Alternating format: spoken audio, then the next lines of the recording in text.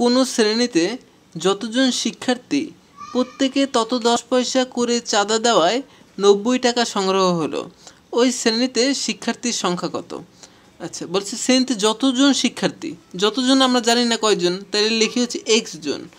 বলছে তত দশ পয়সা, তত মানে হচ্ছে এই এক্সটাকেই বলছে? এক্স মানে ততই দশ পয়সা মানে দশ এক্স গুণ টেন তাইলে মোট চাঁদা হয়েছে হচ্ছে নব্বই টাকা, তার মানে এখানে প্রত্যেকে যদি দশ পয়সা করে মোট টাকা নব্বই টাকা, কিন্তু এখানে নব্বই লেখা যাবে না।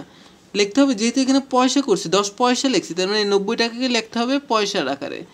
আমরা জানি নব্বই টাকায় হচ্ছে নয় হাজার পয়সা, এক টাকায় একশো পয়সা। তাহলে যতজন লোক তত দশ পয়সা দিয়েছে তাইলে হয়েছে নয় হাজার পয়সা। যেভাবে বলছে আমরা সেভাবেই সাজাইছি। এখন আমরা অঙ্কটা করি। তাহলে এক্স এক্স গুণ করলে হয় x square into ten equal to নয় হাজার তাহলে হয় কত?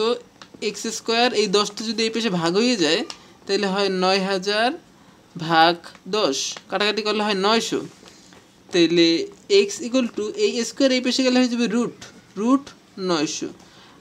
মানে তিরিশ যদি দুইবার গুণ করি, তিরিশ আর তিরিশ গুণ করলে কিন্তু নয়শো হয়। কীভাবে? তিরিশ গুণ তিরিশ। তাহলে দুইটি শূন্য, দুইটি বসে দিলাম, তিন তিনে নয়। তার মানে এক্স ইকুয়াল টু তিরিশ। তার নম্বর এটা হচ্ছে গ নাম্বার উত্তর, তিরিশ জন।